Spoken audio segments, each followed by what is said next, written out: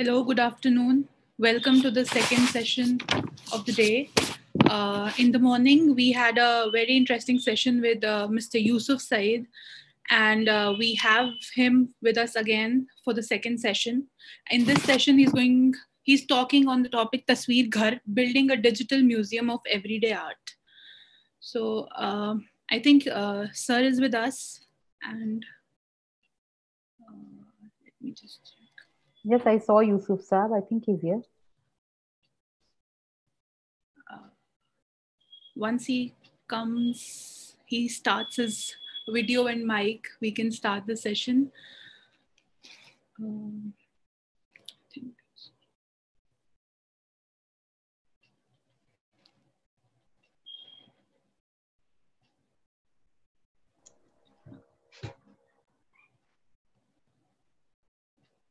Yes, he's here.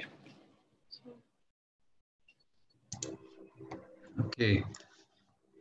Uh, good afternoon. Sorry.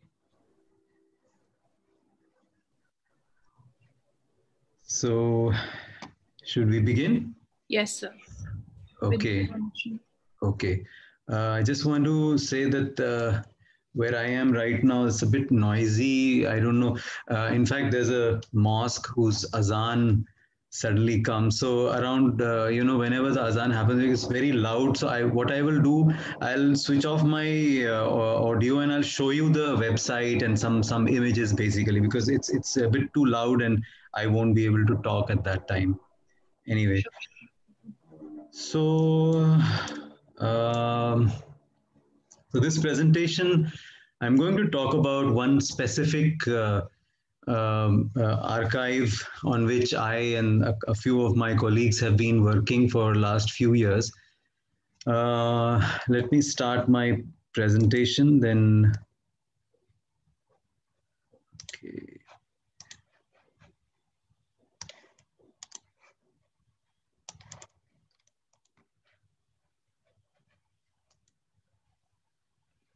Okay, you, you can see the presentation. Okay. Yes, sir. So uh, this is called Tasveer Ghar, uh, building a digital museum of everyday art. Now, what is everyday art? Let's start by that. You know, when we think about art, uh, there are some conventional forms of art. Um, there are some like ancient forms of art. You can talk about, um, you know, cave art, cave paintings, or some kind of rock art, or uh, art frescoes that have been made on walls, um, various types of uh, objects that that uh, are conventionally known as art. There could be uh, tribal art, there could be more traditional classical art form, paintings, especially in, uh, in India, we have so many kinds of painting styles especially from the uh, medieval period. And then there is, of course, the international, the Western uh, art, the contemporary art from Renaissance, and later there is the famous European paintings, then the painters. So you you can find various you know various styles of art contemporary traditional classical folk art etc and uh, most of these uh, are also known to be uh, housed in places like museums, art galleries, or people's homes and the walls.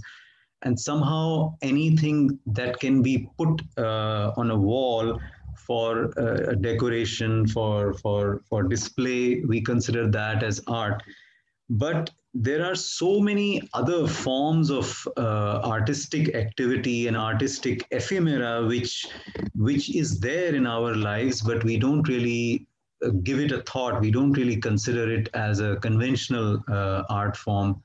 Uh, I mean, there is so much creative activity that we, we do every day in our lives. We, we create things, we, we use things, we, we even use them and uh, uh, to display uh, our you know consumer items and so on. But we never really give it much thought we never considered that as art and that is the reason why such art has also not been preserved um, in the form of in in museums or galleries etc so I'm talking about uh, normally mass produced art or mass duplicated art and ephemera, which is not something unique. Like when you think of a painting or a sculpture or a, you know, any kind of unique art, it is one of a kind. The artist creates one piece of art and that is uh, purchased by somebody or gifted to somebody and then they display it you may you know uh, like there may be copies of it. Somebody may make a copy of, of a painting or a copy of a, of a, of a sculpture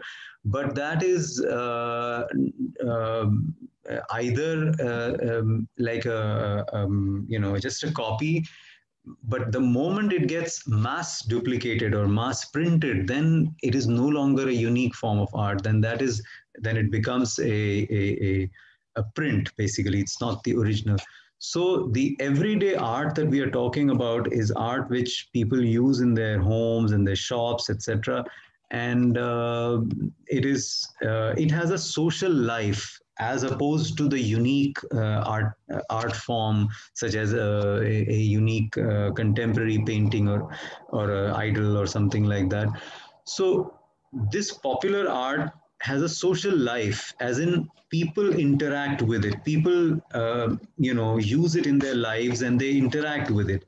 So um, i and many of our many scholars uh, especially in south asia in india we have been thinking that this kind of art form this kind of mass duplicated art has not been preserved properly. It has not been displayed properly, and uh, it is also a transient art form. It you see it one day, the next day it disappears. You you it takes another form. You know something else comes in its place. So. Um, how does one preserve it? Because people um, in the museums and art galleries, you don't find this kind of art. So, what does one do with it? But uh, fortunately a lot of people have been collecting this kind of art. I mean people have hobbies uh, of collecting various things. People collect uh, matchbox labels. People collect cigarette labels. People collect uh, stamps etc um, people also collect this kind of poster art or calendar art uh, which is mass duplicated. So we knew of several collectors and several scholars who have been working on this kind of art uh, but they never came together or they never really thought of putting uh, their stuff together.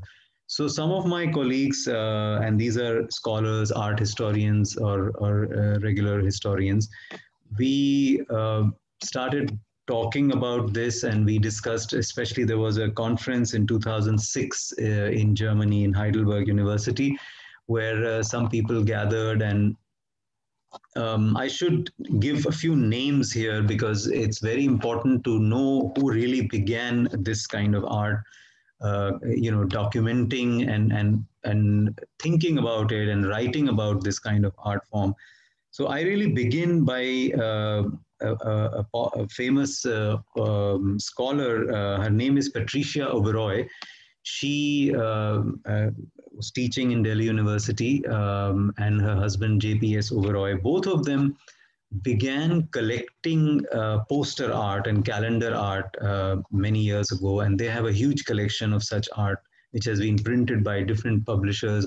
And this could be religious art, this could be just, you know, as you can see in this image, these are, uh, you know, pictures of uh, cinema uh, actors and actresses. There could be uh, religious images. There could be touristy kind of images. There could be just cute babies or, or beautiful women and bodybuilders and you know all kinds of things people have been using and there is a certain obviously there is a certain class of people you know there's a the class is very important the social hierarchy of how art is used because uh, obviously the the more expensive uh, and standalone single paintings are used by rich people they would put them in their homes. The originals are put in their homes. Whereas um, people who don't have that kind of means they still want to decorate their homes. They still want something something beautiful in their homes. So what do they want? What do they get? They they buy these printed uh, stuff the printed calendar art and posters and religious images and so on so uh, some of us we got together. So as I mentioned, the name uh, Patricia Uberoi and JPS Uberoi, he they they started they, they started collecting. There were many other collectors who were doing this kind of who were collecting this thing which which ordinary people, which which uh, even a lot of artists would, uh, you know, a lot of historians would not give it much thought, but some people collected this. Uh, later on, many other scholars joined in, and uh, there is uh, Jyotindra Jain who has been collecting this kind of art.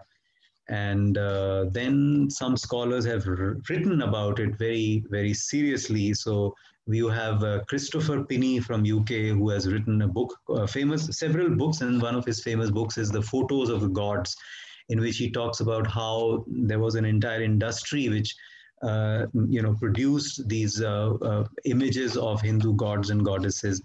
Then there is Kajri Jain who has written uh, Gods in the Bazaar again she talks about uh, these images uh, how the entire industry and uh, what kind of popular aesthetics that go into this kind of artwork so we we decided to start a sort of an online uh, visual archive uh, in which uh, because you know we did none of us had a, a had a space to keep such things. People had their own personal collections but we didn't have a central space.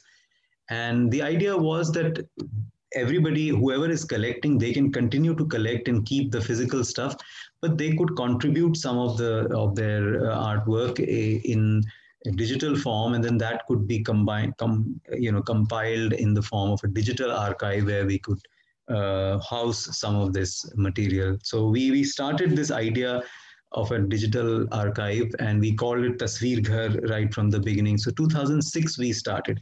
Now, be before I go into the details of Tasveer Ghar, let me uh, show you a few more images as to, to give you an idea of what kind of images we are talking about. Uh, these are all, you, you, you may be familiar with, uh, you know, these posters that are sold on the streets. Um, somehow, a lot of us uh, uh, who are sort of educated, elite thinking people we look at this art with a disdain, with a kind of a distance, thinking, "Oh, this is like really a kitsch kind of art. This is like popular art, not not not really my taste."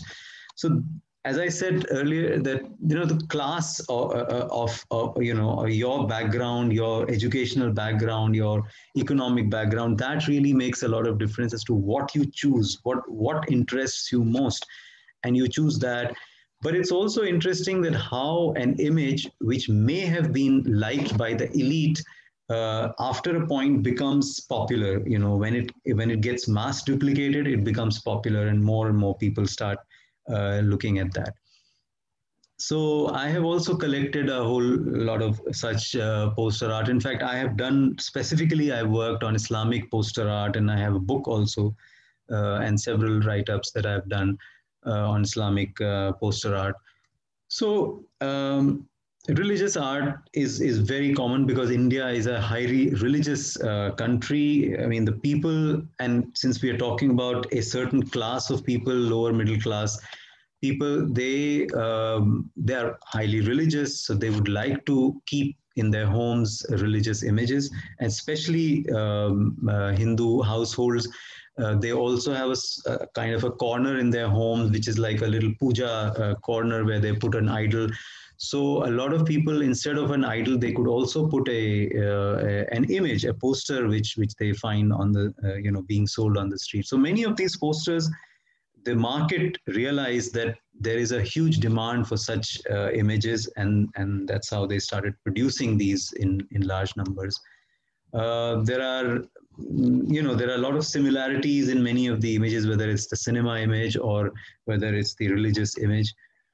Uh, what are the purposes of this uh, popular art? There is decoration, beautification, there's also religious devotion, there could be advertisements, pro product advertisements, events, cinema, etc.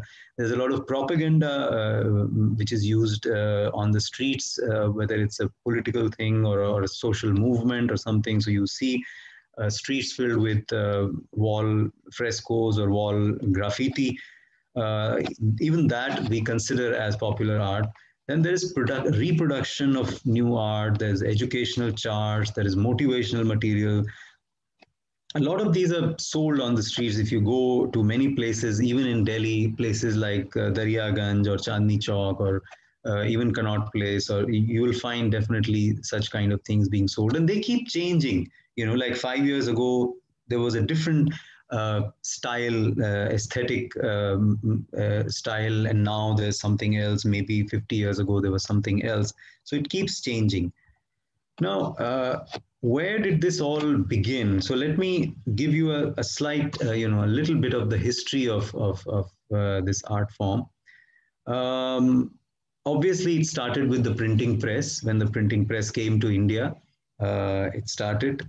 So uh, along with the printing press also came products uh, which were promoted by the British, uh, the European products or Indian products. And uh, the whole concept of uh, decorating the wall, not only with an image, but the whole concept of a calendar uh, being put on the wall. there may have been calendars. I mean, of course, the, the, the there are there are uh, calendar systems in India, whether it's the uh, Hindu calendar or Islamic calendar.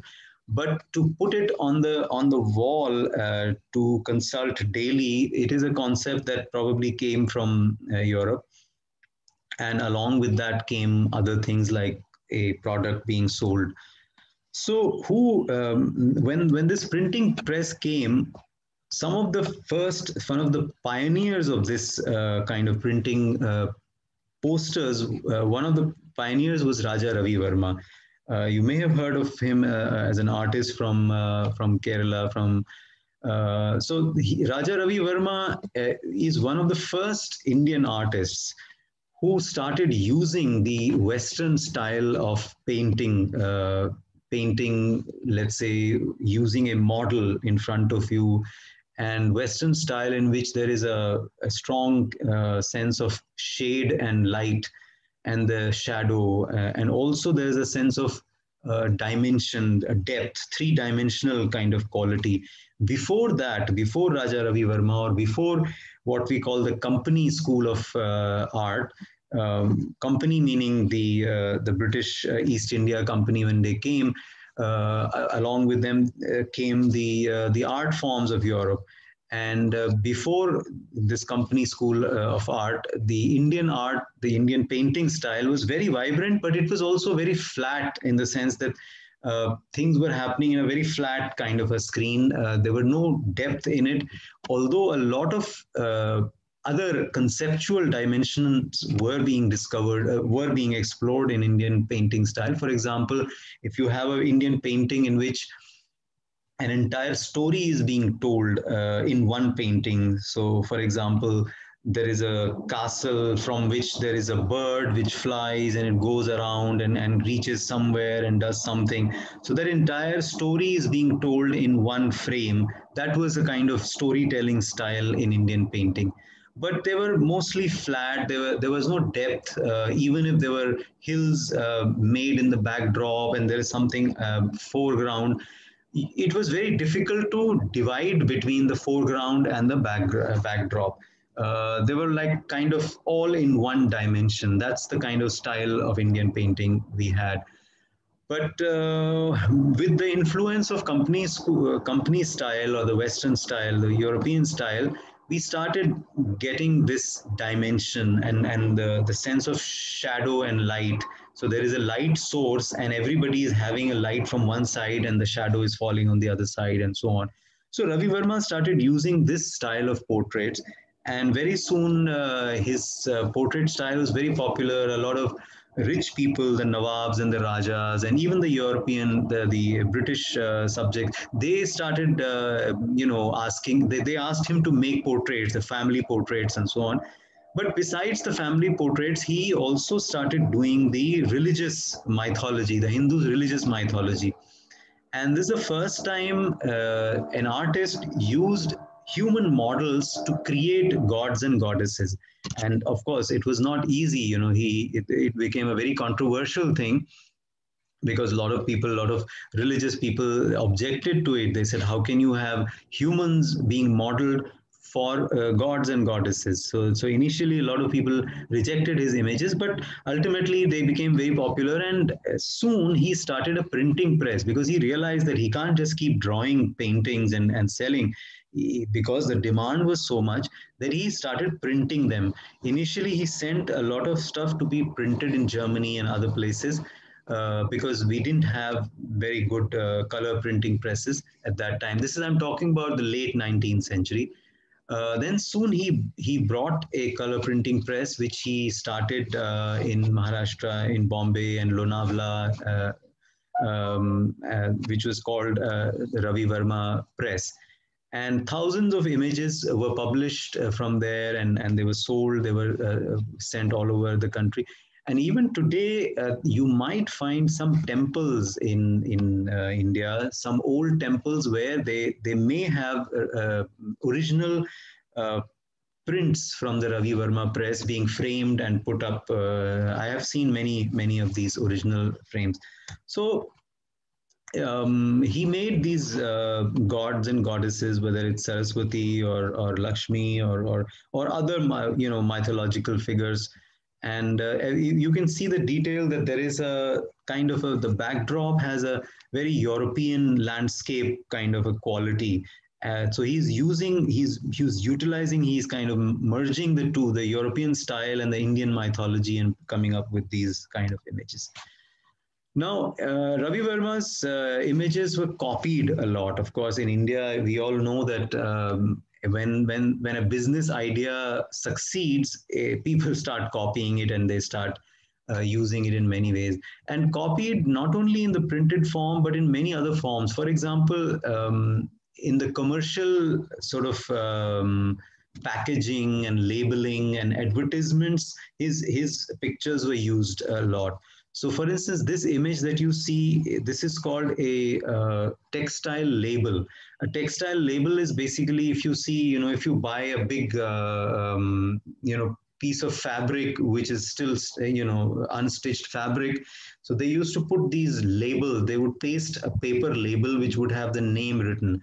So those labels were very popular, um, and uh, for those for the people who cannot read, uh, the name of the label, the image becomes very important. So people used to put a unique image on their label to be sold. Like if somebody asks you, okay, uh, you you go to the market and buy me a fabric which has the label of uh, Lakshmi on it or something similar to that.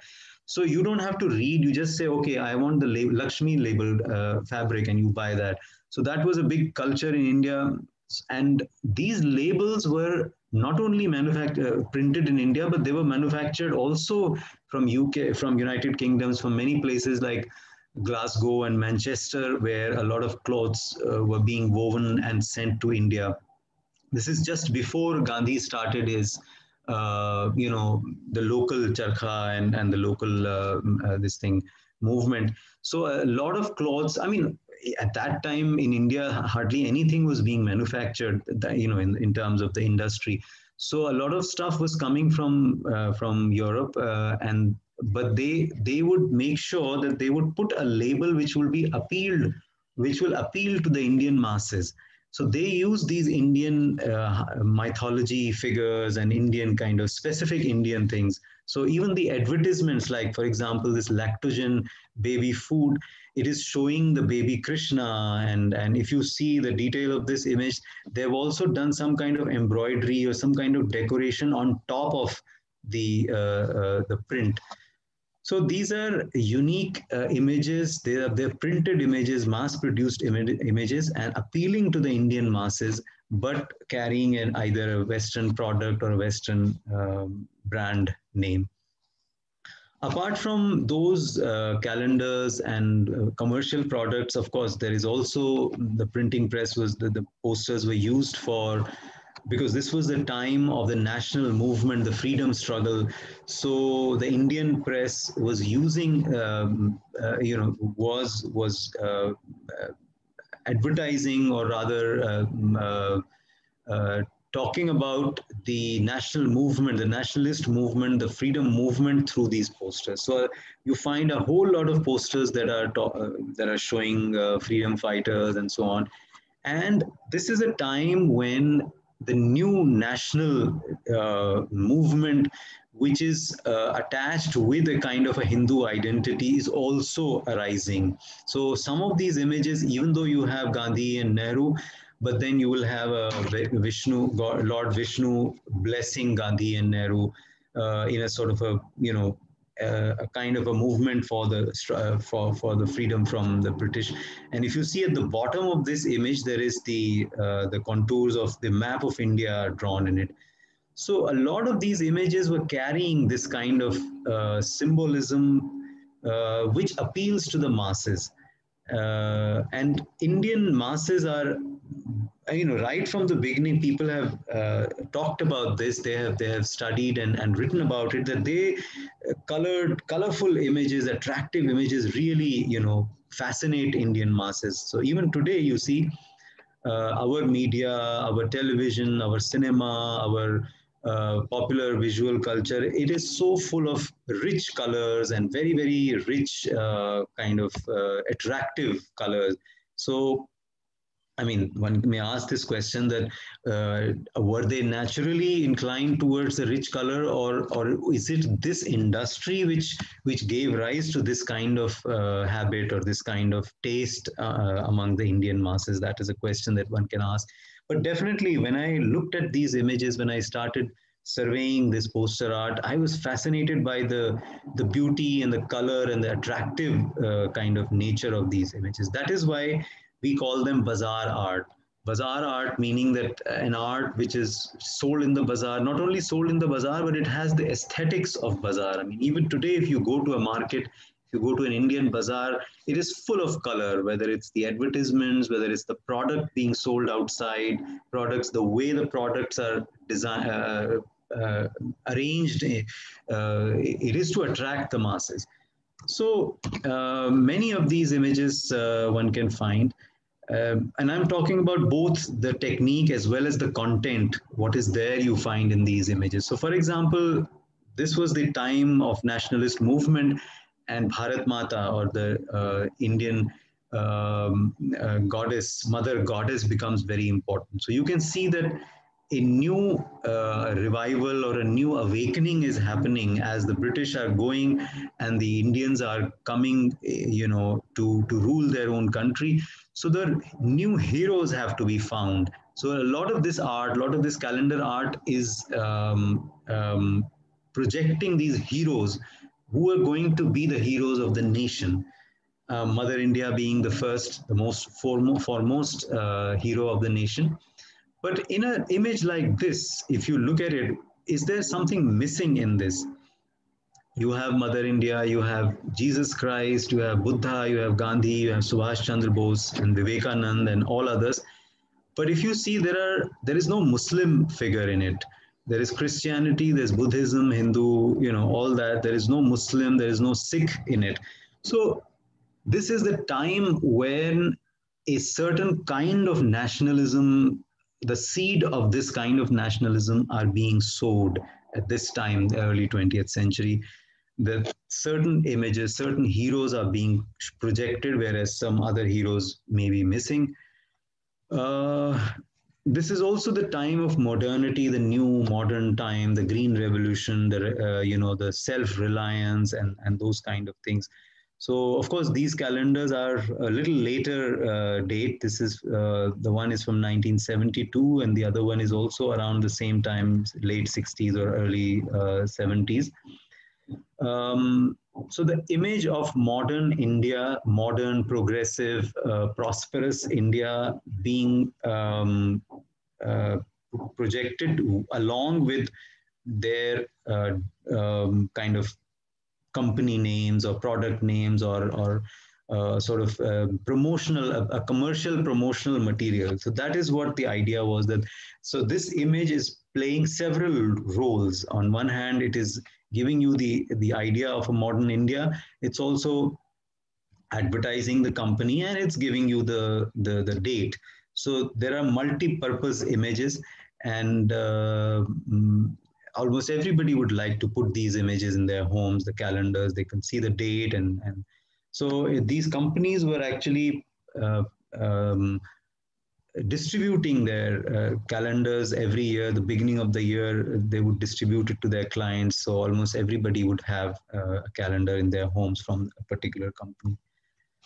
Uh, then of course the the image has to be beautiful it has to be attractive it has to have all the elements it could even be sensuous at times So you can see that these images, while at the backdrop, it is projecting the idea of a modern India, a modern progressive agricultural dominated India. But then you have to show a woman, uh, a beautiful woman, uh, you know, which is the more dominant one. Now, uh, we have also studied who are the artists who are doing this kind of artwork. So in this particular image, if you see closely, um, the artist signature is there just at the beginning of uh, uh, the white surface above this woman's hand. It says H.R. Raja. H.R. Raja was a very prolific uh, artist uh, of throughout 20th century and he has drawn uh, a whole lot of images, uh, calendar images. His full name is uh, Hassan Raza Raja. Uh, and but he you know the, he kept it hr raja so that it's a kind of an ambiguous name his muslim identity is not revealed because he's also doing a lot of hindu images. It's a very interesting thing that this industry uh, is not specific to a particular religion. Hindu artists are doing pictures of Mecca, Medina, and Muslim artists are doing pictures of Krishna and Ram and etc. So it's a very and it's the same with the artist, uh, same with the publishers. This, the public Hindu publisher could be doing a, a Muslim image and so on. So um, again, as I talked about the modernity, the modernity, the modern India, the modern everything. So this image, if you see, this is the image of a modern family, modern Indian family. Now, in this image, except for the sari that the woman is wearing, everything else looks very Western. It has a radio, it has a, uh, a little fan at the back, it has table, chair, dining table, there's a dog, and and uh, what they're uh, having is probably an afternoon tea or breakfast. So there is a tea kettle, there are saucers and cups, and maybe a cake. So it's a very modern, uh, you know, um, idea of a, of a modern Indian family. There's a curtain, curtain rod, etc. These are coming from 1930s, 40s, uh, and and projecting this idea of a modern Indian family. Um, again, this is uh, much later, this is 1987. Uh, once again, you have television coming into India. So this girl, uh, she's doing a kind of a namaste, and then there's television, there's doll, and then, I mean, there is so much to read. Again, as I was talking in the morning, that you know one has to know how to read images and the detail is very important every little detail the curtains at the backdrop the television the the girls uh, wearing a uh, little wristwatch and and goggles and and uh, very interesting kind of details that these artists so you not only read about the mind of the artist you also start imagining the kind of people who are using these images and what these images mean to them in their daily lives so cute babies, uh, beautiful women, uh, they have to be there in most of these uh, images because that's what brings the kind of beauty.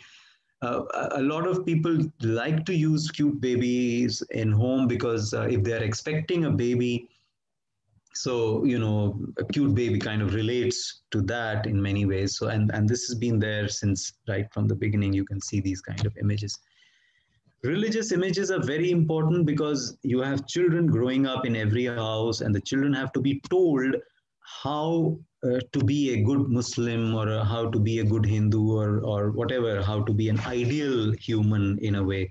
So this kind of image you will see in many muslim homes uh, and they they bring in some specific Indian or South Asian aesthetic values. So even if we are talking about Islam or Muslims, they will bring in some aesthetic value which is local. Local. Uh, so for example, in this image at the corner bottom, um, the the left corner, you will see a incense stick. Uh, uh, you know what we in some homes people uh, use this kind of agarbatti, uh, a kind of an agarbatti stand. Now, this is something that you will find probably in South Asia Muslim homes, not anywhere outside. Although in, incense is used in other places also in Arabia also, but not in the manner that it is used in India. So uh, you will, even if it's Islamic image, you will find that that unique Indian quality to it. And in a way, a, a bigger sister is uh, teaching the, the younger brother to learn Quran and and this is how a good Muslim has to be. This is how a good Muslim has to be dressed, you know, with the cap and the kurta pajama, and the girl has to be draped. All those are uh, symbols of conditioning, you know, how you condition a family member, how you condition children to grow up in a certain way, to grow up like an ideal Muslim or ideal Hindu or whatever. Um, so these images um, are using Mecca, Medina, but along with a lot, lot of local uh, uh, stuff. You know, um, uh, among the Muslims, there is a there is a thinking that uh, one should not use images inside home. A lot of people don't use don't put pictures in their homes because there is a there is a belief that if you put a picture in your home, uh, the angels won't don't visit your home, etc. So many of these producers uh, are uh, are familiar with these kind of uh, uh, you know preferences. So they they make sure that they don't put any human figures in this in this kind of image. Now in this image, right at the bottom bottom right, the signature of the artist. I don't think you will be able to see it, but uh, let me read it. The signature is Balakrishna. So a Balakrishna is making the picture of Mecca, Medina, and Hassan Raza Raja is making the picture of Krishna, and, and you know, and vice versa. So there's a lot of interesting things happening in these images. Uh, there are also wall posters which are put up uh, generally to uh, to announce a particular uh, uh, function or a religious uh, ceremony or something like that. And i consider even that as as a form of art as a form of everyday art. A lot of people a lot of us we watch these things on the street and we just pass by.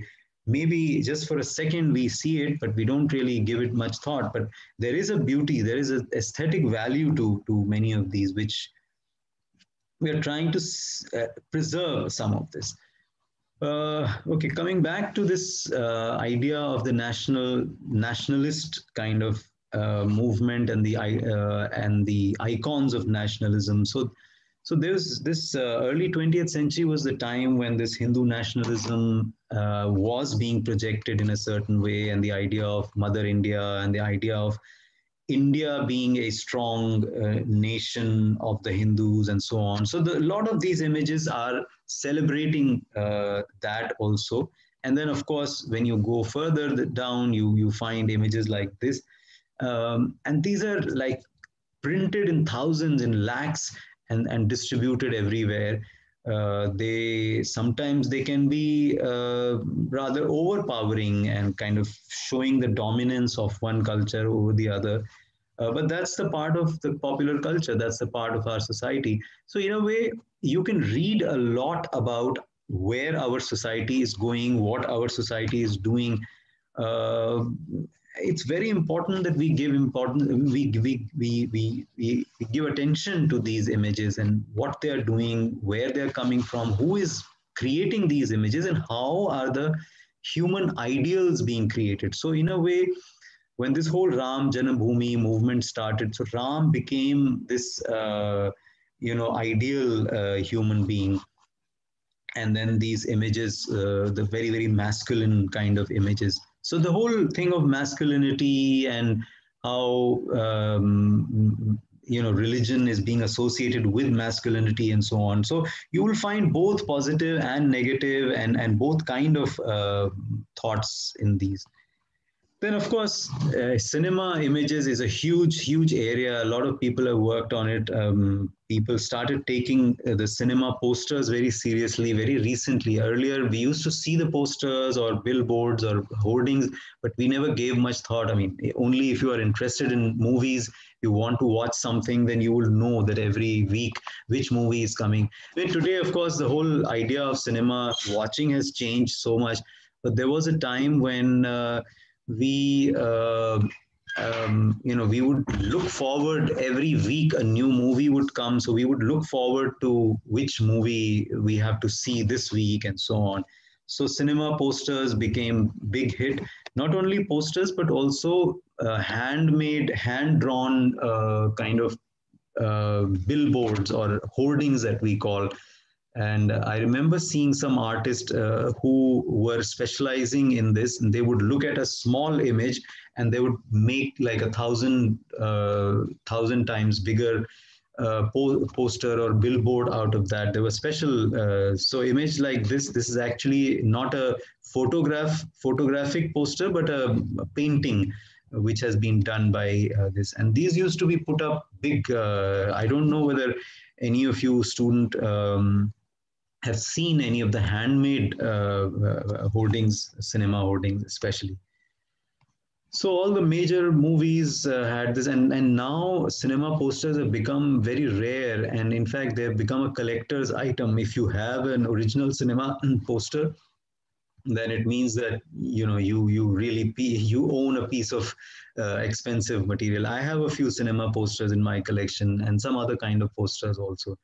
So, and in fact, right now there are some companies who have started uh, reprinting these old movie posters and started selling them. So you will find some shops which are actually specializing in the, these kind of uh, archival posters. So with all these things, uh, we decided that, okay, let us uh, do some sort of a uh, collection, some sort of a um, online archive. So we created Tasveer Ghar and, and I mean, I don't have to explain to you why we call it Tasveer Ghar. Tasveer Ghar is just the house of pictures. And in that um, we had several ideas several kind of aims. The initial aim was to collect as many pictures as possible from different sources of this kind and highlight them on our website uh, along with uh, some kind of metadata but uh, we didn't want to just leave the images as they are we wanted to contextualize them so for us uh, providing a context to the images was very important. And right from the beginning, we told some of the scholars and, and uh, um, the collectors to contribute images to us, which uh, along with their uh, along with their contextualizing, along with their along with the ideas to what these images are doing in a society. So don't just give us one image give us a number of images put together in a kind of a series, in a kind of a essay, and you contextualize that. So that was the idea. So I'm going to now um, show you a few, you know, examples of what we have done in Tasveer what kind of contextualizing we have done with these images, uh, which will uh, give you a basic idea of where uh, we are leading. So. So, for instance, uh, I talked about uh, right in the beginning uh, the name of this person, Patricia Uberoi, who is a collector and she has thousands of these kind of posters. So, we asked different scholars and collectors to contribute images, not only images, but captions and, and a kind of a put your images in a series and say that this is how there is a journey of images. So, Patricia contributed the first uh, kind of visual essay to Tasveer Ghar with uh, her images of welcome posters. Now, welcome posters is a big uh, genre or a, or, or a, style among the poster art. A lot of publishers are uh, uh, publishing these kind of posters because almost every home, middle class, whatever you know, class. Uh, I mean, whichever class uh, believes in using these kind of images, you would always find a welcome poster or a swagatam or a, or a good morning or, or these kind of posters. So you can you can take a look at this essay and see how Patricia has tried to contextualize these images, where they are coming from, who are the artists, who are the publishers who are doing them, and what they are projecting, what kind of are they all religious posters, are they secular posters, what they do. So that is one uh, you will find. And in fact, uh, these examples that I'm showing you, we've also published them in the form of a book, uh, which, uh, so, so the book is there uh, along with the, the same essays uh, on the website. Then this is an essay that I did myself, which is about Eid cards or Eid Mubarak greetings um, I found, um, I collected myself and I found a whole lot of uh, uh, these archival Eid cards, Eid greeting cards, uh, in different collections and uh, tried to write a visual essay on it, which is called Eid Mubarak Cross Cultural Image Exchange in Muslim South Asia. So, the very interesting thing I found in this was that, as you can see uh, on the image on the top, that the image is showing a kind of a European winter. Uh, and it says Eid Mubarak, Assalamu alaikum. Why should there be an European winter with, with snow and snow clad everything? So I realized that this Eid card actually it's from uh, early 20th century, and this came with the British as a Christmas card. It's actually a Christmas greeting card, and uh, they just stamped Eid Mubarak Assalamu alaikum on it, and they started using it as Eid card. So these are very interesting examples to how symbols, uh, visual symbols came from the West and adapted into Indian condition. Uh, similarly, the other icon, which has a hand, handshake kind of a icon, a lot of Eid cards I found which had this handshake uh, icon.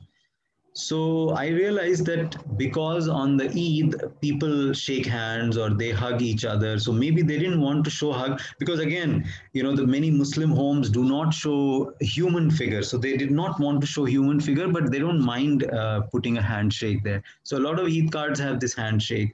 Similarly, mm, uh, you know, very, very European, even the image at the bottom is very European, uh, very British kind of image. So uh, very uh, so so a kind of Christmas greeting cards were recycled as Eid greeting cards.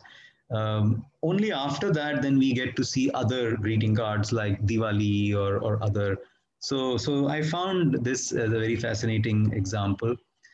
Then uh, our colleague uh, Sumati Ramaswamy, who's, uh, who's one of the founders of Tasveer Ghar, uh, along with me and Christiane Brosius, so she has been working a lot on the maps and uh, uh, Mother India, the figure of Mother India. As you can see in these images, I mean, I'm sure you must have realized that the map of India has such a shape that it looks somewhat like uh, a woman wearing a sari. And that has been used a lot uh, in this kind of art form, uh, you know, to, to show map of India along with Mother India or Hind Devi or so this is a, again, as I said, this is a textile label which has been put on the textile uh, fabric uh, yarn. And then this is a map which is uh, again a very, um, I mean, if you look at the the contours of uh, different states in this map, they are very different. Um, like Madhya Pradesh or Hyderabad state, there is Vindhya Pradesh, there is uh, uh, Bihar and Rajasthan. So all have different kind of shapes. So this is probably from 1940s, just before the partition or, or just when the partition was about to happen, because there, there is a mention of Pakistan in it. Uh, so, um, so a lot of maps, uh, uh, poster maps have been used in this. Then another colleague of ours did this very interesting visual essay uh, about the picture postcards and specifically focusing on the picture postcards of Indian hill stations. So this is uh, our colleague Shashwati Talukdar who did uh, this essay on hill station postcards. Postcards is another big uh, genre uh, among the popular uh, popular visual culture, which you can use as hist historical material. So we found a whole lot of picture postcards from different collections um, depicting the, uh, the Indian hill stations. And it actually tries to prove how through these images Indian hill stations were a kind of a British um, construct like the British wanted a place in India I mean India is such a hot season uh, climate place. So they wanted uh, to create spaces which could look like Europe or England. So they created these hill stations with, with very European kind of architecture and so on. And then those were also projected through these picture postcards and other kind of photographs uh, and sent all across to say that, look, uh, here is a a little uh, little England in Mussoorie or in Nainital or something like that, Shimla. So it's another way to tell history, visual history about our heritage. Then uh, somebody did this uh, visual essay on uh, uh, romance in Indian popular imagery, how romantic couples have been uh, projected, and how especially places like Taj Mahal and these things have been uh, projected in Indian popular visual culture. So this is Kajri Jain who did this visual. You will if you go to our website, you will find many of these uh, visual essays. Each of the visual essays is actually comprising of several images, maybe from 10 to 20 or 30 images. And those images have been kind of put in a kind a gallery uh, with captions and also an essay which contextualizes uh, these images. Uh, talking about the romance, then we come to also modern uh, kind of romantic uh, imagery. For example, the Valentine's Day uh, greeting cards. That's another. So, you know, each of these things, uh, we just take them for granted. We just uh, ignore such kind of artwork. But actually, if you take it, if you collect it or take it seriously, you will find you, you you will find the trends that our society is following. What is our society really looking forward to? What are they what kind of aesthetic values they have? What do the youngsters like? Or what do the elderly people like etc so christiane brosius who's one of the founders of tasveer ghar she wrote this um, essay about the valentine's day greeting cards again, um, somebody talked about Catherine Asher is actually a historian um, uh, from of the Mughal uh, architecture. So she talked about how Taj Mahal has been projected in popular visual culture or popular art. You know, calendars, posters, um, some kind of uh, uh textile labels, and and various. Now, let me also tell you in, on the way that many of these images are actually coming from one particular um, uh, collection, which I was lucky enough to digitize myself. This is a, a person who lives, in fact, in Delhi. Uh, her name is Priya Paul. Priya Paul is uh, is a she's a she's an entrepreneur, industrialist. She her family owns a, a lot of uh, industrial uh, concerns um, all over India. Uh, if you know, in Connaught Place, there is this Park Hotel. So she's uh, the owner of that Park Hotel. She is a great art connoisseur and art collector, and she collects all kinds of art. And uh, she has specifically collected this popular art form, which we we managed to um, uh, digitize ourselves. So uh, in her home uh, on Aurangzeb Lane, she there is a entire a room, large hall, which is filled with posters, calendars, advertisements, cinema images, hoardings, all kinds of things. Because uh, you know, people, the art dealers, they they bring their stuff and then she she buys them. Um, although she doesn't have uh, time herself much to to actually see what what what uh, kind of the, in detail, but she's managed to collect a whole lot of material. So I we approached her and we said that you know it's a fascinating actually by historians, art historians, social scientists. Uh, so why don't you allow us to digitize? Uh, of course, we will not. Uh, we will make sure not to damage anything. Uh, so she she was very gracious enough to allow us. So I spent a, this was in uh, almost 2008 uh, nine when I spent few months looking at that material, straightening it out and classifying it and then digitizing it, whether scanning or taking with photographs, because many of the images were in frames. Uh, they were already framed from many, many years, and some of them were uh, classified, some were not. Uh, we digitized almost 5,000 images from Priya Paul's collection, and some of these are uh, from her collection. So these were posters, calendars, uh, cinema, billboards, all kinds of things. We digitized it, and uh, those 5,000 images, then we straightened them. I mean, we, we, digitally kind of corrected them, and also then we have uh, hosted them on a server on Heidelberg University in Germany and you can find the link from Tasveer Ghar and you can visit that. You can you can search uh, from these 5,000 images. Now, that was an entire experience, uh, and this was something that I did for for the first time. I mean, I hadn't done it earlier, but so it was a learning experience for me. Not only uh, the straightening and, and sort of restore slight restoration of these images, classifying them, digitizing them. It was an almost an archaeological discovery, I would say, the way we were discovering these images, the way we were looking at them and, and suddenly discovering something, oh my God, this is this is how it used to be, you know, 50 years ago or 80 years ago, because her collection uh, starts, uh, you know, her, her, her, some of the posters or calendars are from 1890s onwards. So it's a very rare collection. Uh, very, very uh, few other people have uh, this kind of collection. Uh, apart from Priya Paul, there is also Jyotindra Jain who has a collection of this kind.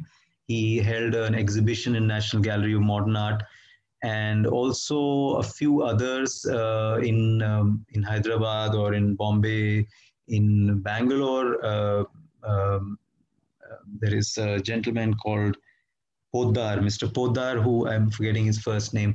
Uh, he has a huge collection of this kind, but it was Priya Paul who was really gracious enough to allow us uh, digitizing of, of this art. And thanks to that digitization and thanks to putting it online, uh, a whole lot of scholars started coming and started looking at these images and started uh, giving serious thought to it and to contextualize. So, for example, Richard Davis is another scholar from the US who has a collection of his own uh, of Hindu gods and goddesses posters. And he wrote an essay for us called Temple in a Frame God Posters for and of Worship. Uh, then, of course, apart from the printed stuff, we also um, uh, you know, some of our scholars also talked about um, small um, objects like these toys or um, uh, miniature kind of things. So if you if you're familiar in South India around the Dasahara time, they uh, they sell and buy these uh, little dolls, Dasahara dolls they are called. All over South India, you will find this, and they display it in their homes so this is another very interesting popular culture. Uh, there is an entire industry which produces this. So uh, Annapurna Garimella, she did the, this visual essay for us on, on this art form. Then another interesting thing, I'm sure you all are familiar with these religious uh, tiles that you see on the streets, on the, on the pavements, which people put up so that uh, you don't urinate on that wall. Now, who would think that that is also an art form? So this is what we emphasize that even that is art form, even, and even that needs documentation. So our scholars, Amit Madeshia and Shirley Abraham, they from Bombay, they did this uh, this visual essay. They collected a whole lot of these images. Of course, you cannot uh, take the tile, but you just take photographs of these. So they they took whole lot of photographs in Bombay of different god god tiles um, and what they do and how they you know uh, they they avoid people from urinating on the streets.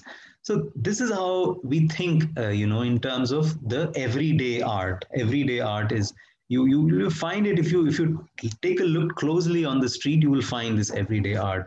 Then similarly somebody did the same thing for from chennai. I mean you know tamil nadu chennai they are also full of artwork on the streets. They, they make these huge, uh, uh, you know, billboards, uh, huge models of their politicians on the street. So all that is the everyday art. So somebody did this, uh, this kind of street street art or graffiti or, or uh, uh, you know, frescoes on the wall in Chennai. Then we also like to celebrate the uh, artists who are doing this kind of art. So, for example, some of the artists I mentioned um, H.R. Raja, I mentioned uh, Balakrishna, then there is this artist called K. Madhavan. K. Madhavan um, has been doing posters as well as um, um magazine covers Mm-hmm. Again, religious as well as just depicting the uh, the rural um, landscape, the rural life. So this scholar Stephen Inglis uh, did uh, this essay for us because he's been collecting K. Madhavan's uh, pictures. Um, then how do we see these images as a commodity, or rather, an image selling a commodity? So, um, uh, hundreds of images that I digitized in these collections are um, showing a product, selling a product through a calendar, but using a, a, a religious image. So, for example, this Burma shell this is from 1939. So obviously, it's a, mm, a, product from the from the West, from from uh, England, being sold in India, but with an Indian uh, mythology being depicted. Uh, again, through these images, you see you see the emerging uh, modern India in a way um, emerging modern India, how a shop, how a market is like, uh, like uh, you know, looks like, and how people are selling and buying things. Um, and they're all made with hand. They're all paintings that have been drawn Uh, by artists, professional artists, of course. I'm going to take a little break here.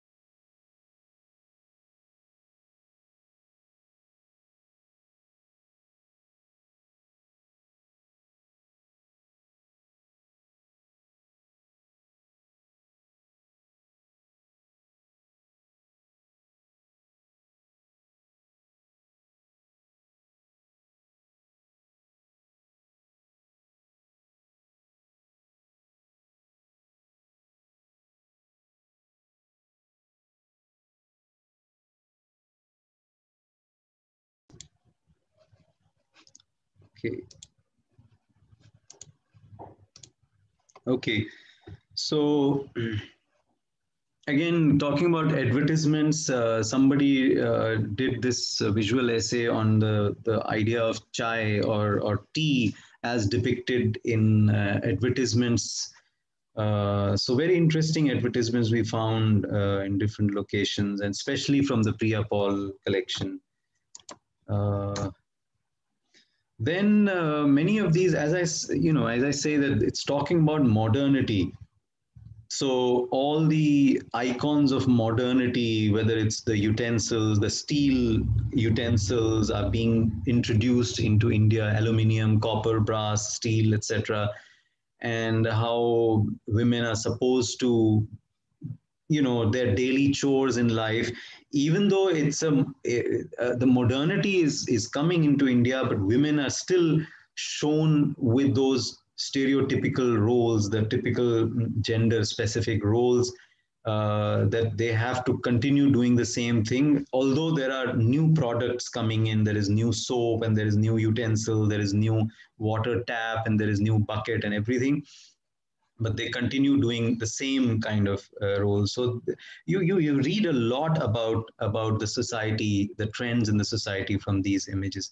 Then somebody talked about uh, the soap advertisements, especially the Lux uh, soap advertisement, and how cinema actresses have been uh, uh, projected through these. Uh, almost all Lux advertisements portray cinema actresses. Uh, this was done by Sabeena Gadihoke, who teaches in Jamia Mass Communication. Uh, so then, of course, from the cinema, mm, there is also some of the B grade movies, how they uh, their advertisements have been portrayed in these images. Uh, this was another very funny and very interesting uh, collection somebody did, Vishal Rawley. He did a thing about uh, the Bhojpuri music album covers and how they are very sexy and very raunchy kind of images that are used in this. So, you know, these are things which many of us just ignore or many of us, you know, consider as a kind of uh, kitsch or kind of low grade or, or you know, uh, without any taste. But actually, if you study it as popular culture, you will find so much in them. You will find an entire uh, you know how the middle class or the lower middle class thinks what are their aspirations what are their what are their desires or needs. So you you read all that from this kind of everyday life.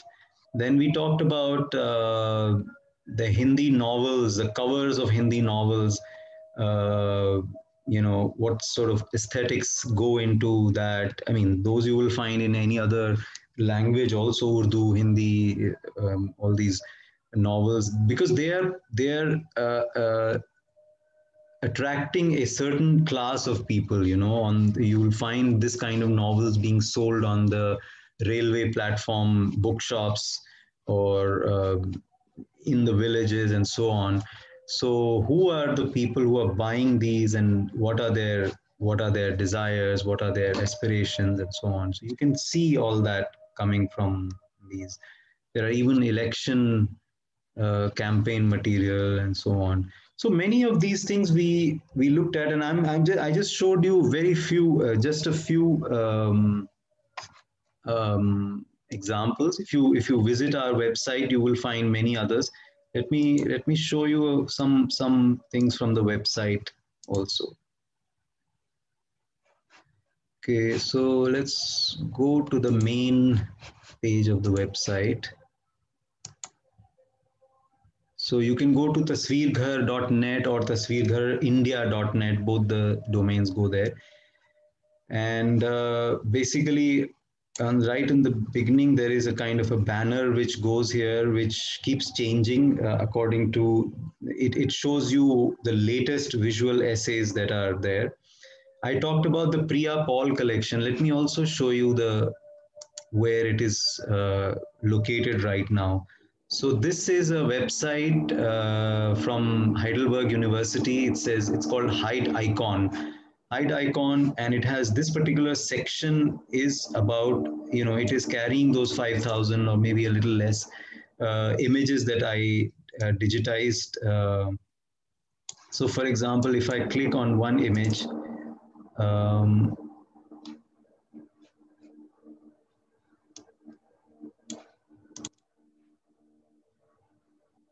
it gives you uh, that image and its metadata.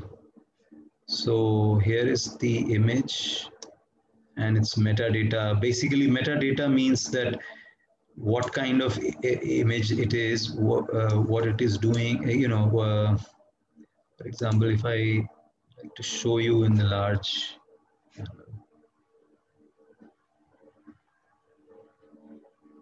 it's somehow for some reason it's called suraya in mood number 474 so now what is this why why is there a title like that so what used to happen was that uh, in the early 20th century there are these companies which are producing calendars for clients for other companies so uh, if I go there as a company, I want to get a calendar printed in my name. So what kind of image options are available? So what they would do, they would make a whole catalog of various kind of images and they will give me that catalog and, and to choose from. So I will choose. So that catalog has uh, titles like this, Suraya in Mood, or something, something like that, like Shakuntala, uh, or some other uh, picture like that. It says uh, Satya Narayan Katha uh, or uh, some other image like that.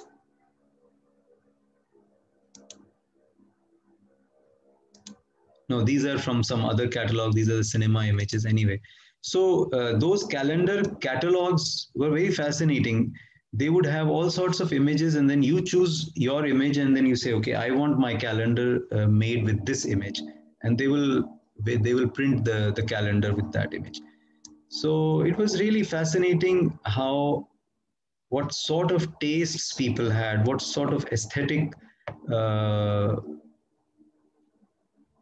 values they had. So you can search through this. So for example, if I, again, let me search with Delhi and see if you can search with any keyword and it will throw up uh, those particular images. So uh, it has, I don't know whether there's anything specific to Delhi in here because, uh, you know, wherever it has the keyword Delhi in it, it will throw that image.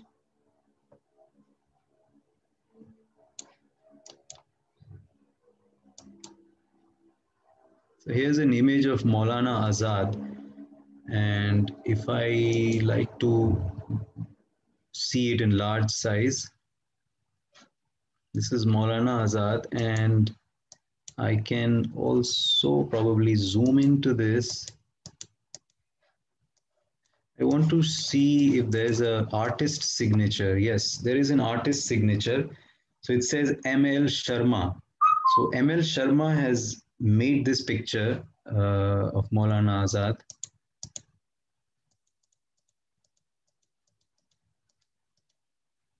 And then there are many other images of these freedom fighters and uh, different leaders. Subhash Chandra Bose. Somehow I realized that many of these images are also very beautiful to look at. They have been done very aesthetically. Uh, so this is the time when uh, photography is uh, has not really, or rather, photographic prints are not so much visible. So it is the artist, the painter who has to draw that beauty, has to bring that beauty into it. Unfortunately, I, am not able to straighten this, but you can see how uh, many of these images, uh, they, they really depict that the, the very interesting colors uh, you get to see in these images. I mean, some of these colors, uh, you will probably, even today's printing press is not able to um, produce those colors. I was really fascinated by the kind of colors it is, it is depicting some of these images.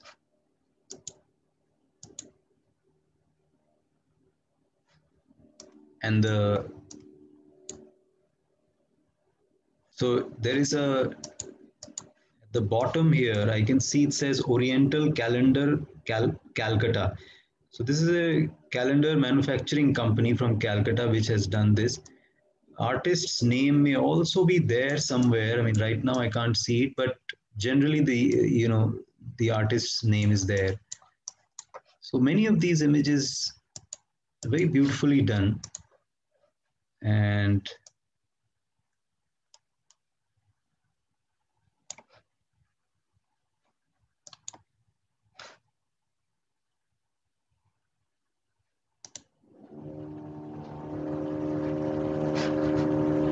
Now, this is an image that I'll show you the detail of this. So it is probably some film actress, uh, and at the bottom it says, yeah, it's uh, there's it says number 703 Mridula Mridula. Maybe this is some actress named Mridula, and it says such dates for 1955 may be printed on both sides along with usual monthly data pads for 1954 in the center, etc., etc. So these are instructions that are being given uh, by the publisher for companies who want to choose this. So in a way, this is a sample calendar. And if you choose this, you will get these kind of dates. And in the middle, if you remember, I don't know how many of you have seen those calendars which used to have uh, what is called the date pads. So like for 365 days, there will be 365 little pieces of paper eh, in a big pad which will be stuck on this. So every day you tear off one date. Like january 1st you tear off the next day you tear off. So that it'll get kept reducing. So in the middle you used to have those date pads very interesting. I mean i don't know whether today's generation uh, can can can experience how people used to remember dates and how you, they used to experience the time uh, or the year in such a way. So we used to have i, I still remember those date uh, date pads that every day you would uh, remove one date.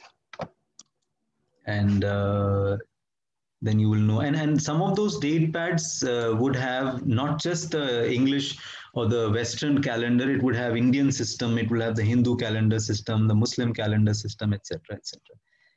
So this image, it says honor of India first.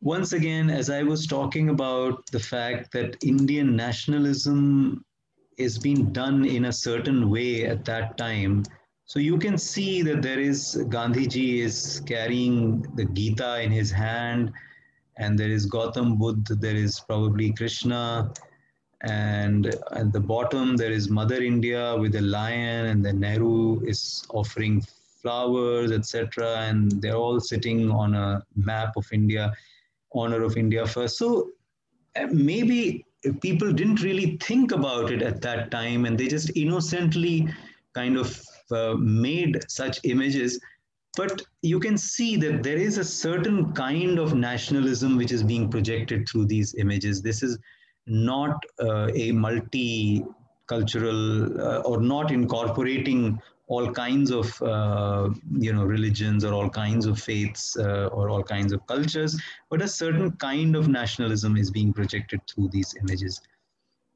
Of course, you will find you know representations of other religions as well. So this is probably uh, Mother Mary and Jesus, uh, which has been drawn in, in a poster uh, image. Again, as I said, very beautiful to look at. The artist has really given it much effort to create this image. And uh, you can see at the bottom, it says Studio SM Pandit. Studio uh, SM Pandit was another very prolific artist of the calendars, and this has been printed by Oriental Calendar Dum Dum. Dum Dum was a you know a little uh, place outside Calcutta. Uh, so Calcutta was a big uh, publishing center in early 20th century. And this is Sai Baba of Shirdi.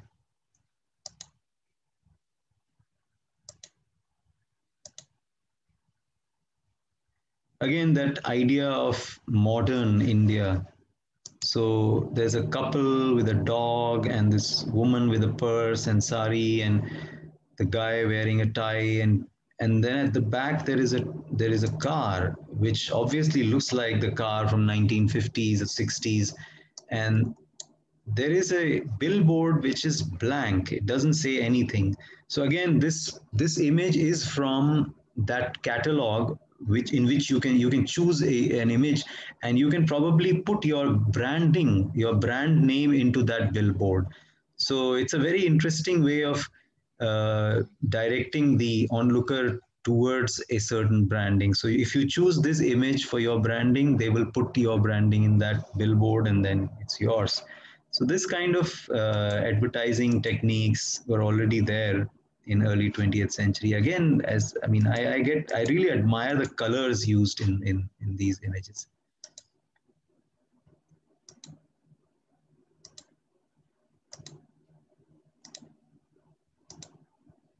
Sorry all these seem to be in a they have to be straightened so uh, this was just one uh, Delhi that I looked for. Let's see. Let's let's look for some other. Um, uh, maybe Bombay. I don't know. Let's see what Bombay gives us.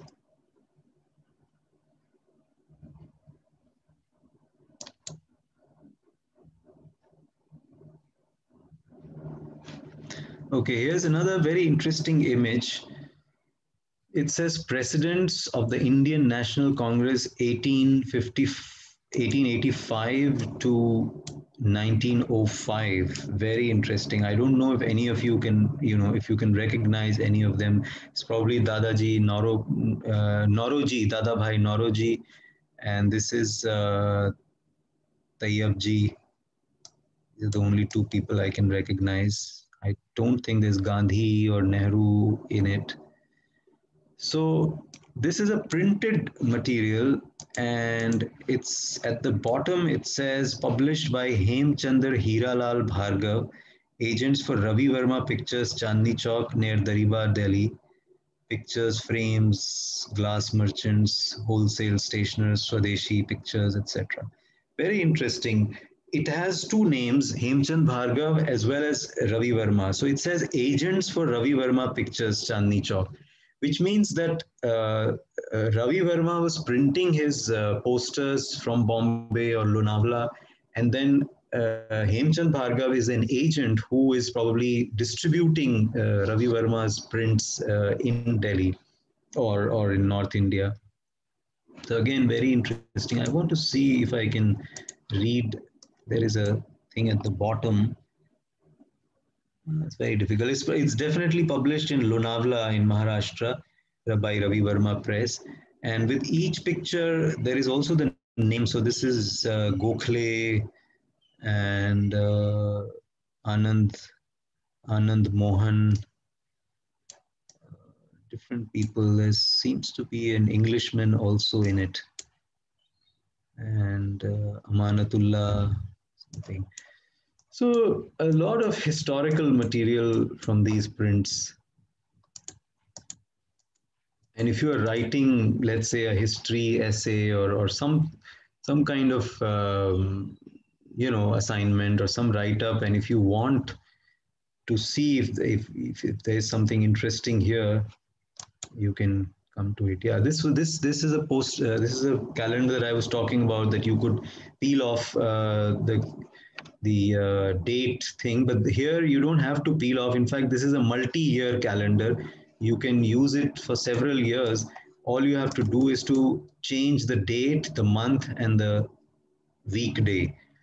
Uh, and then it goes on and on for several years. So this is like a met- metallic uh, stand in which they, they put these dates. And it says Hatiwala Silk Mills, uh, Surat. So the company is in Surat and they have a branch office in Calcutta. Interesting. Then uh, Estrella bright light long life looks like a battery to me. Yeah, it's a it's a battery and a torch. So again, you know, the same thing which we see even today, you know, a beautiful woman being used to attract the, the viewers for a product. I mean, why do you need a beautiful woman to sell a battery and a torch? So this was happening even in those days. Estrella, Bombay. Then uh, here is a, this is a medicine company the Zandu Pharmaceutical Works. I guess this is the same as Zandu Balm, manufacturers of Ayurvedic and allopathic medicines. And it says Bharat Mata Ki. this is very interesting. Now, as I was talking about the details, if you look at the detail of this, although they're selling all sorts of things like malaria drug and camphor, something camphor or something, uh, here you see it says in the middle bharat mata ki mukti ho jagat mein shanti ho. This is very fascinating. What do you read out of this? So there is a hindu deity maybe krishna because it has uh, krishna has a uh, mor pankh on the head. So krishna is blessing bharat mata mother india who seem to be coming out of the shackles. So this is 1944 calendar uh, so, so many things are happening in this calendar. It is selling the Indian products, the Ayurvedic medicines, and at the same time, it is saying Bharat Mata ki mukti ho, jagat mein shanti ho. And all around, you see some some like broken things, some demolished things, maybe it is uh, this is 1944 is also the time of the world war so it is supposed to be showing i mean i, I can see a little uh, ship in the backdrop probably if you see there's a sea and a ship. So it is invoking the freedom struggle as well as the world war and how Bharat Mata is coming out of its shackles and uh, and and there's a prayer Bharat Mata ki mukti ho jagat mein shanti ho. Very interesting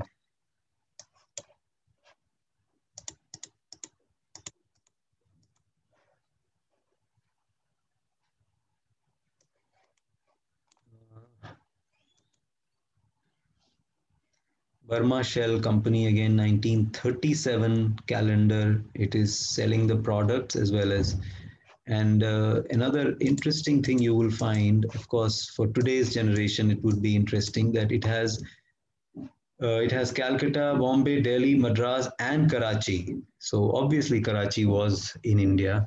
You will find many of these products advertisements which say Karachi, Lahore, Burma, uh, Rangoon, all those names are there.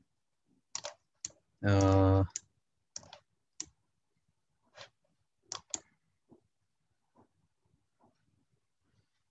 this is another one of those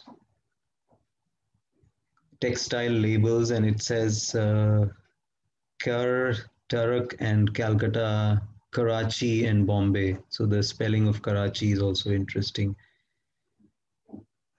because Karachi was a big, uh, you know, shipping city also, and uh, so people, so a lot of companies had their headquarters or something there. So there are all sorts of images you will find in our collection. There is cinema posters from 1960s, 70s, and so on.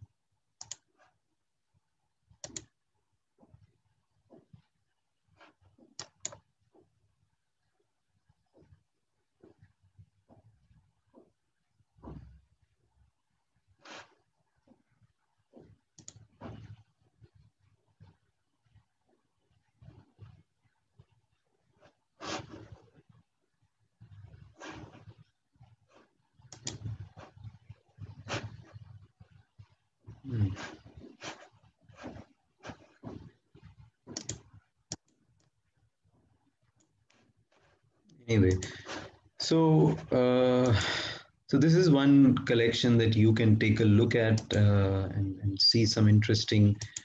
If something fascinates you, and uh, we also open tasveer ghar is also open to um, other people contributing more stuff if you have if you know of any other artwork or any um, older kind of popular art um, things you can contribute to us. If you want to write something for us you can write. But uh, obviously it has to you know it has to follow certain guidelines. It has to follow certain standards. This is an advertisement of probably rolls royce car i'm only able to see the large version not the small version for example, if I searching for this uh, advertisement,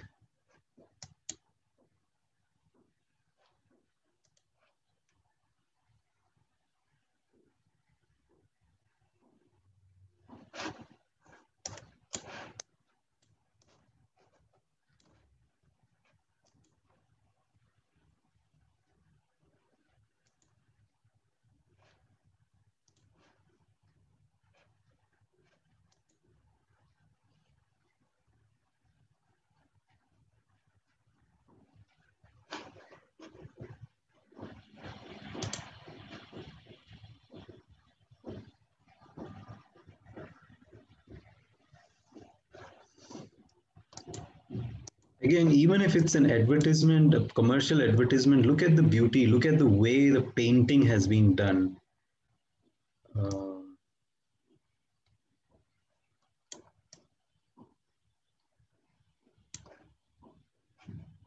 very different kind of aesthetics and cultural kind of background.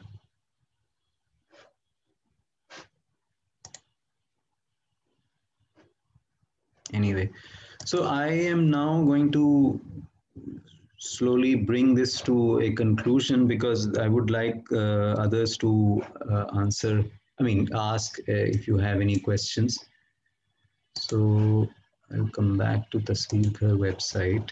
So Tasveerghar website uh, has all these visual essays. It has uh, some sections which talk about who is building it, how we started uh, this journey.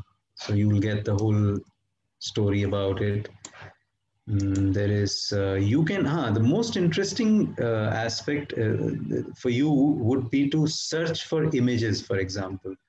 That is, uh, I mean, apart from the, there are two uh, sites that I talked about. One is this Heidelberg uh, website, which has the Priya Paul collection. And the other is the Tasveer Ghar collection itself, which has uh, a search facility. So you can search Tasveer Ghar images here. So for example, if I, let's say if I type Urdu here and see what happens. Uh, so it comes up with some images, some Urdu advertisements, etc. For example, this one. It says uh, Rogan Gesu Daraz is a kind of fragrant oil that Shah Jahan, Shah Jahangir's Begum Noor Jahan used to apply. So it has some interesting Urdu or Arabic kind of things that you will find. Just a keyword that I searched for.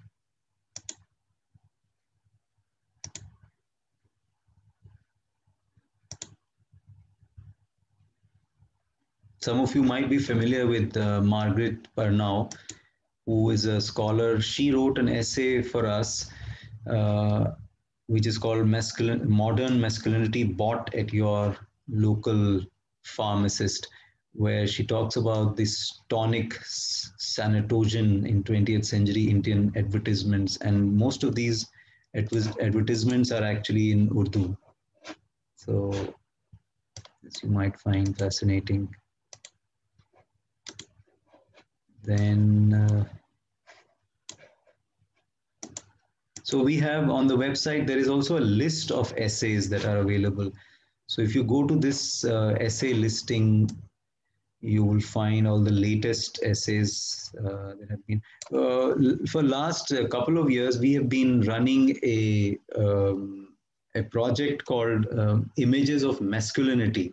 So you will see that some of the top art some of the top essays are actually about masculinity uh, how masculinity has been projected in india. This is a very interesting essay. Let me show you. This is a gallery. Somebody did uh, how motorcycles have been projected in advertisements to to uh, show this masculine like motorcycle being the masculine thing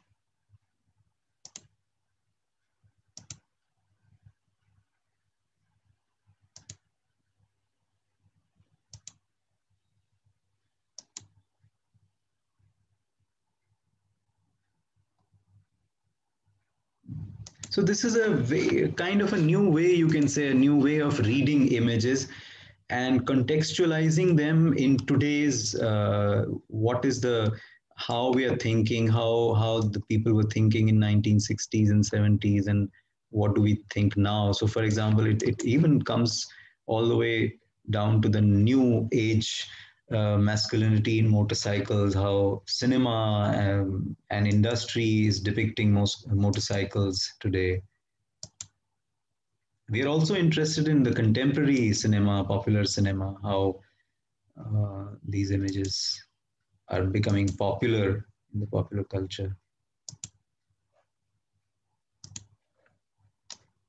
So I, I hope that um, if you go through the website, you might find fascinating things here and it might inspire you to do something interesting something new.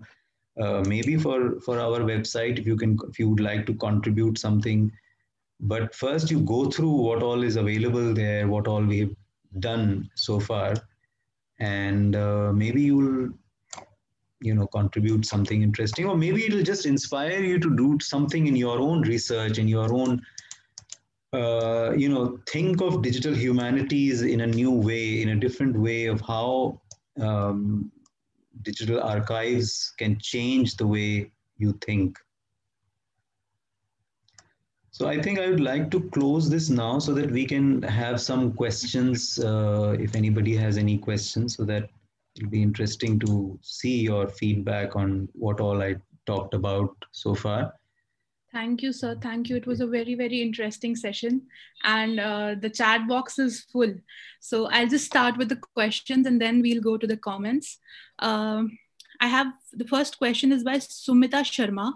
Were there major stylistic differences in how Ravi Varma painted gods and goddesses and how others did before him? Yeah, definitely. You see, as I said, that uh, Ravi Varma was uh, using human models to depict gods and goddesses, and before that, nobody had done that. I mean, gods and goddesses were we only saw in terms of sculptures and the idols that were made uh, hardly anyone was doing the pictures. Even if somebody did a picture, they would look at an idol and then make a picture of that.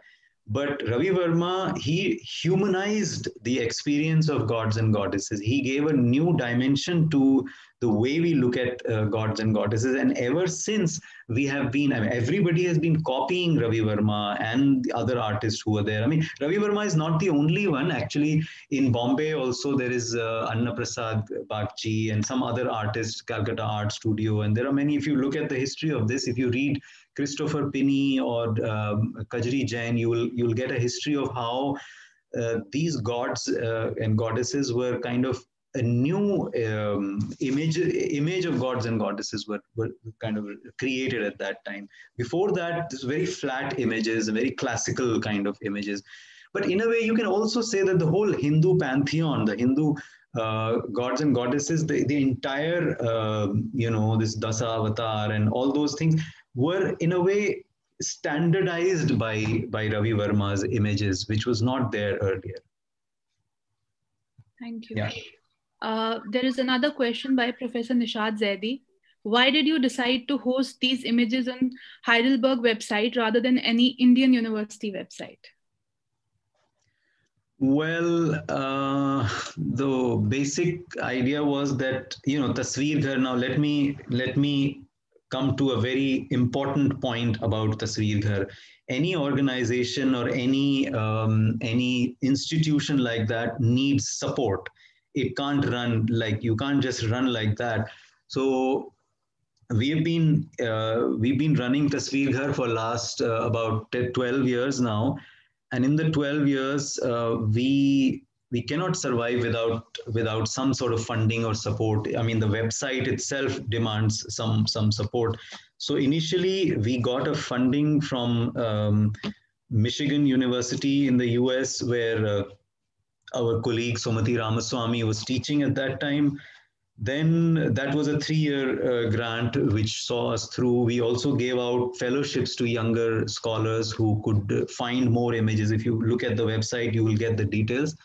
And after that, then we got a funding, some some support from Heidelberg University, and they already had a well-established um, uh, database and an archive uh, we didn't have to reinvent anything. We just had to feed the images and, and it, it would go.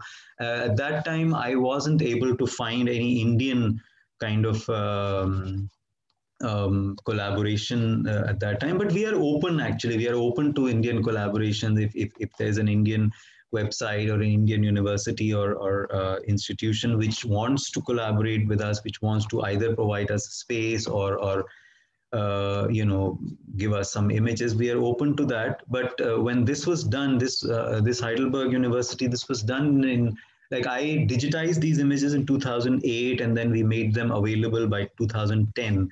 At that time, you know, we we we were not really finding any support here that's why we did that's but I, and also i don't want we don't want it to be located in in a particular place it's a digital archive and that's the beauty of a digital archive that it's there on a on a cyber space so it's not really uh, it, it could be anywhere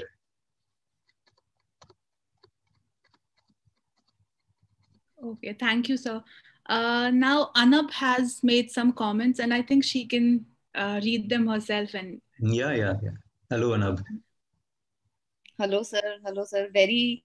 Um, I've mentioned in the comments that Tasveer Ghar is one of the best places to browse. Also, it's so much fun to look around. It's uh, great, and I'm also working on Pakiza Anchal on magazines, digests. So uh, Nishat ma'am has already, you know, we are in talks about uh, uh, digitizing and uh, scanning. And you know, sir, between uh, like finding an image which is interesting, like an advertisement and digitizing it uh, we are still sort of figuring out the training process because scanning is not enough.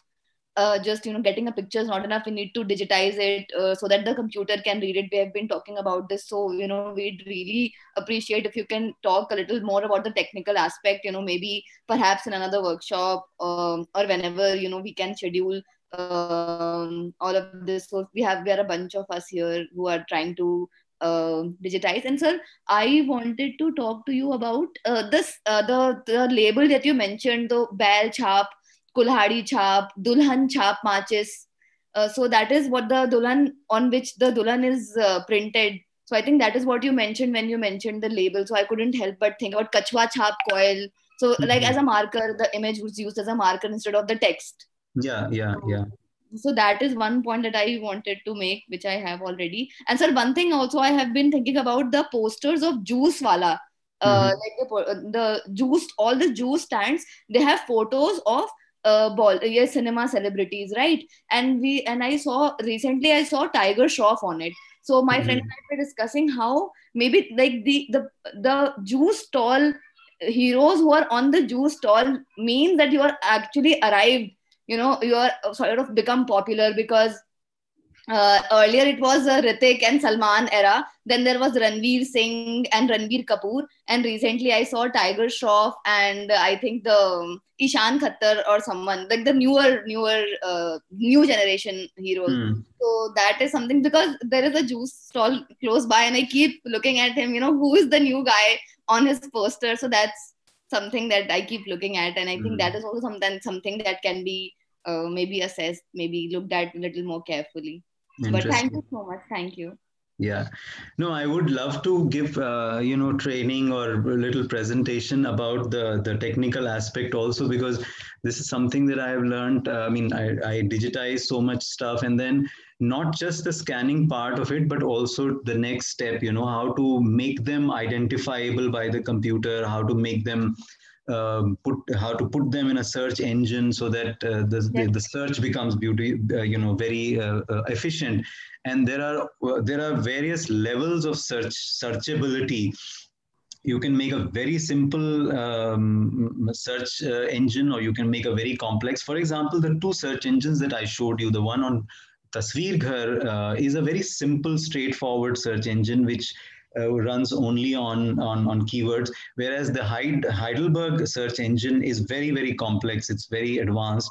So it, it, it has many, um, you know, categories and, and, and many things, keywords and things like that. Even working through that, it was not easy. So we had some difficult time. So I can definitely, I mean, if you want, I can give a presentation or I can take you through the process uh, of how to digitize and how to make them archivable digitally yes. available that we can do that would be so wonderful yeah. we'd be so delighted and grateful if you if we could get some training on that because yeah personally because we all uh, all of us are trying to you know get together stuff but we are still uh, not we are in the humanities but moving towards digital humanities and mm. any sort of training would be so helpful so helpful yes yes Thank yes you. yeah we also yeah. take help from computer engineers and computer scientists yeah yeah, we could take help. Actually, it depends on whether you want to create a new system right from the beginning or you want to use an already existing system. So it depends.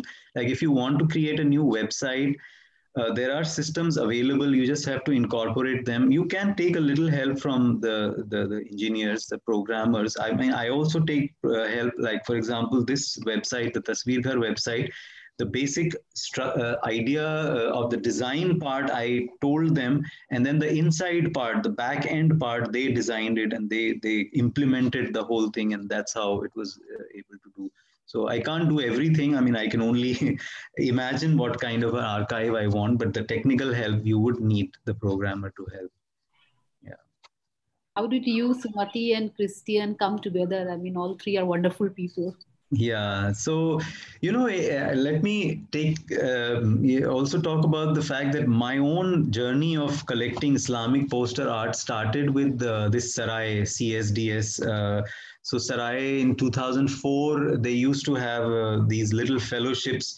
Uh, and I, I, they gave me one fellowship but before that i was doing i was working on documentary films and i was doing a documentary film on amir khusro and sufi uh, culture and while working on that film I, we were looking for some images some popular culture images and then uh, i mean i knew that these religious images exist but i never really thought although I had seen the work of uh, Patricia Uberoi uh, because uh, her daughter Safina was uh, a classmate, so we knew about that uh, that connection.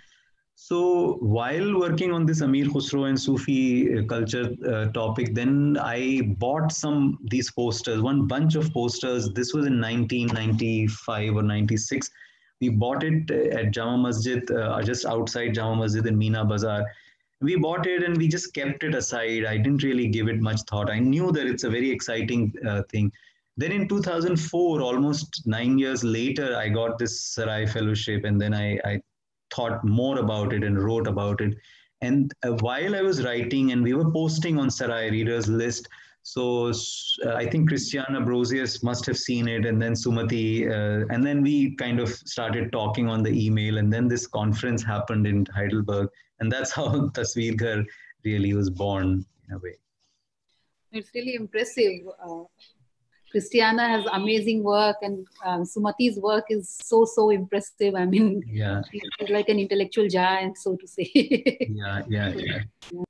Actually, all these people were part of the group, uh, uh Patricia Uberoi, and even um, uh, uh, uh, Jyotindra Jain is also part of this, but then he, you know, kind of took a different direction. He also started a similar archive, but that archive is not available anymore. Physically, he has all that collection, but uh, he was also part of our team initially. Uh, we have another question. Uh, what should be done to promote the uh, digital humanities climate in Indian universities, which, unlike Western university, universities, are not as interested in it? I think um, my suggestion would be to personalize the experience. Like you, we ask our students to uh, do their own projects using their own personal family. For example, you ask a student that you go back to your family and ask your parents or grandparents to give whatever photographs you have old photographs old material old stuff and then digitize that and then make it available make a project out of that. So that will give them you know something which is lying in your home and you don't really give much thought to it. But if you if you digitize it and, and make it available on a blog you know it's very easy to make anybody for for anybody to make a blog. So you just take a whole lot of pictures, uh, put it on a blog and, and write about it and say that this is my family, this is how it, and there are tools available nowadays. There are tools available. You can create a timeline, you can create a photo montage, you can create so many things. So I think we should begin by giving such kind of exercises to the students to build their own local histories, uh, family histories. Local history is very important uh, I have this colleague uh, in Ambedkar University, Delhi. There is a center called Center for Community Knowledge. Uh, Surajit Sarkar is there, and they are also trying to do something something similar. They are creating these local history um, festivals and local history kind of websites and things like that. So we we can we can you know generate that kind of work with the students maybe. Okay, there's a comment by Hanzala Mujibi. It's a, it's interesting to note that many of the Hindu imagery is ex almost exactly the same as it was as it was a century ago. Mm-hmm. Yeah, as I said, century ago, you know, Ravi Varma created this Hindu pantheon and created a kind of a standard image of all these gods and goddesses, and they've been coming. In fact, many people say, you know, there is a sentence I heard somewhere that so and so was wearing a sari as if coming straight from a Ravi Varma painting. you know so that's become a standard thing so ravi varma has really changed the way people uh, looked at our own heritage and he standardized certain things you know the way a woman is uh, drawn or, or a way a, a, hindu deity is drawn and, and the different uh, mythological figures and different stories have been drawn in that and people have been following that more or less in the similar uh, manner. It's very interesting the whole journey with Ravi Varma and then printing presses in South India. For example, there's a town called Sivakashi. Sivakashi in Tamil Nadu was the center of uh, printing uh, this very colorful, very attractive posters. Even today, if you go, Sivakashi has three industries actually. One is the printing presses and calendars the other is uh, matchbox uh, labels, I think. And the third one is the firecrackers.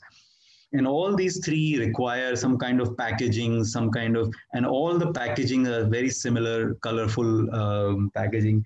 So that was like the center of this industry, uh, Sivakasi. It's a small town, but almost every house has a like a printing press or, or a matchbox uh, factory or a you know cracker firecracker factory or something like very interesting place so south india is really fascinating in terms of the, the way they, they projected these colors. And in fact kajri jain in her book uh, uh, gods in the bazaar she's talked about how these printing presses um, emphasized on the saturation color saturation brightness and which colors should be stronger and things like that. So in a way our minds have been conditioned according to the what the printing presses gave us and that's how we, we we've been brought up. Sango bidani says it fascinates me that the iconography is so colorful especially given that probably probably during the national movement the, the prevalence of color was just starting out if we look at films uh, given that I'm working on cinematic adaptations of Devdas in the Indian subcontinent and my inclination of looking at the changing iconography for the central character of Devdas from the 20th to the 21st century, this really fascinates me. Yes, yes. Um, yeah, color. India Indians are fascinated by colors. You know, if you um, if you look at anything our cinema our television everything there is so much color. I mean our our cinema sets which are used for songs and dance sequences and things. And not just today even in in the past uh, you know before the cinema there was the uh, the theater the proscenium theater. So the, on the theater there used to be sets uh, there used to be backdrop theater backdrops. And interestingly the artists who were uh, painting those backdrops were the same artist who started painting the billboards, the, the hoardings, and then they started painting the, the, the posters. Many, many, many painters like this, uh, Ravi Varma also was probably involved in some of the um, theater backdrops, um, and then other artists like um, um, as um, uh, Kajri Jain and Christopher Pinney have talked about, that. there are many artists. Uh, so the aesthetics remain the same. You know, these bold colors, bold uh, brush strokes, and bold. Everything is very bold, and everything is the, the color saturation is very strong because also because you know after they have done the first painting, it will go through several stages before it reaches the printing press and the thing comes out on paper. So during these several stages, uh, transformation will some color will get reduced or something. So the in the original itself they would like to put so much color that by the time it reaches the end you know at least some colors remain. So that thinking goes and and even in cinema when when the color came uh, you know they were using these technicolor and and uh, you know uh, various kind of uh, uh, products were brought in which will give higher saturation of color in cinema. If you look at the cinema of 60s you know immediately after the black and white when the color came you look at the movies of the 60s you will see they're very rich you know their colors have been upgraded like yellows and greens and red they have been upgraded somehow.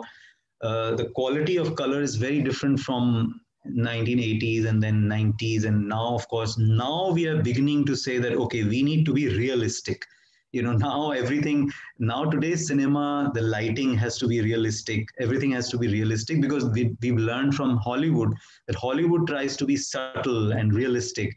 We were not subtle or realistic. We were dramatic you know. In india everything has to be dramatic. That's why our colors are like that. Okay thank you so much sir.